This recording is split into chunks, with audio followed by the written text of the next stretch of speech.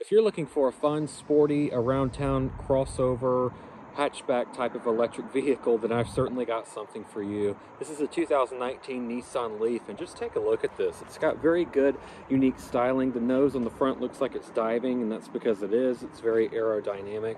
You've got these gorgeous LED headlights right there. Um, nice curvature for, again, contributing to it being so aerodynamic. Look at the grill. It's almost holographic. It looks so, so cool.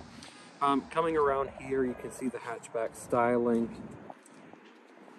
You can see your wheels right there, again, contributing to how aerodynamic this is. You know, it is a hatchback, but it is kind of mimicking a small crossover, because although it is labeled as a hatchback, it is taller than your normal one. So actually does have some height to it. It's pretty good. Um, there's your back right there with your lights and such. Um, they are bragging that it is zero emissions vehicle, and that's because it is. It is electric. For those of you who don't know, electric cars do not release fumes into the air.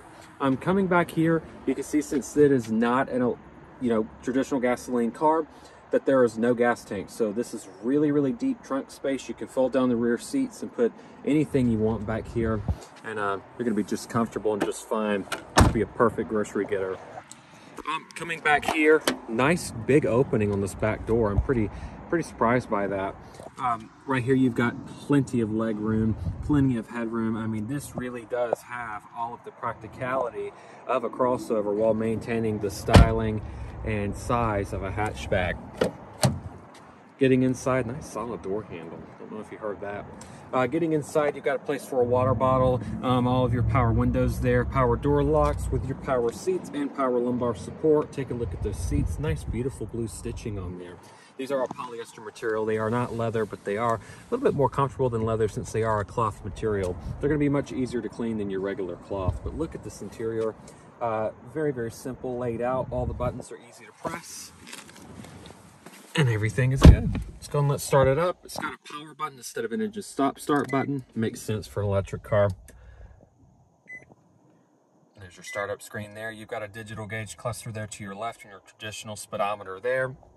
Then you've got your uh, nice flat bottom leather wrapped steering wheel with your controls to control the screen in there, your radar cruise control, all of your light stuff, um, miscellaneous buttons over there, and then you've got all of your um, climate controls and you've got your screen. And this right here is the shifter. It's pretty cool. It lights up blue. To put it in the drive you push it over to the left push it down. It goes on the drive for reversed.